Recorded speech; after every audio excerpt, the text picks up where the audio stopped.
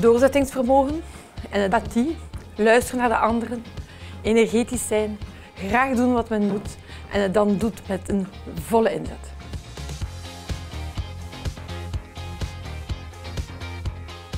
Een eerste moment is uh, in 1991 hebben we een grote brand gehad in ons bedrijf. Dan moesten we alles terug heropstarten van nul. Het was een hele moeilijke periode.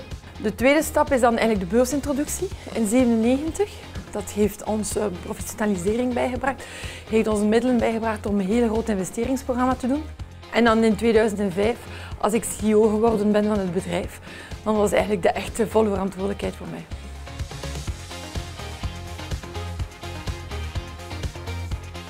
Doen wat men graag doet. Men moet nadenken over wat men wil. En als men dat weet, er dan volop voor gaan. En soms is het moeilijk, maar toch eigenlijk doorzetten, doordrijven en dan raak je er wel.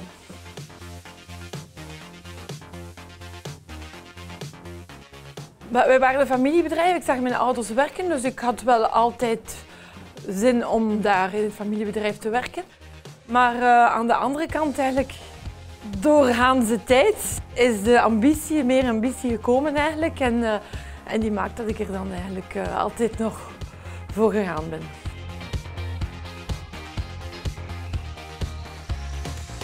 Uh, mijn vader die heeft mij enorm veel geholpen. Ik zeg altijd, ik ben wie ik ben, vandaag dankzij mijn vader. Die heeft mij enorm veel verantwoordelijkheid gegeven. heeft de kans gegeven om fouten te maken. heeft mij ook veel gepusht. En dankzij hem sta ik hier nu. Ook mijn man, ook mijn kinderen. En eigenlijk ook mijn naaste medewerkers. Een bedrijf is niet één persoon. Een bedrijf is een handsteam van personen die dagelijks werken om het bedrijf vooruit te helpen.